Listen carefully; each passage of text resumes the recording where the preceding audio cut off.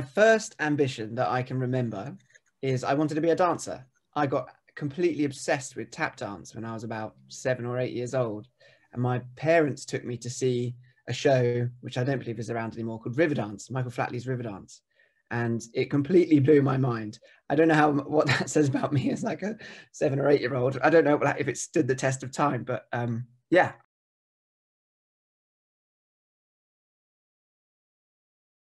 The greatest achievement of my artistic career so far, I would have to split it between two things. There's one, there's the New Con- Bloomberg New Contemporaries, which is uh, a group show amongst um, fine artists across the country graduating or currently on um, a degree program. And then I was also lucky enough to be part of the Paris Photo Carte Blanche Award. Um, there's like four winners a year, and I was one of them um, with my classmate, Chris Hall.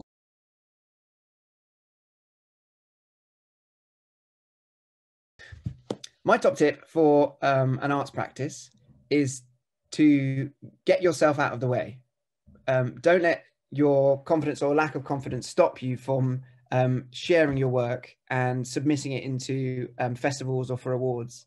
Um, I'm a firm believer that you should let um, the jury or those selecting judge the value of your work in line with that award and not let your confidence get in the way.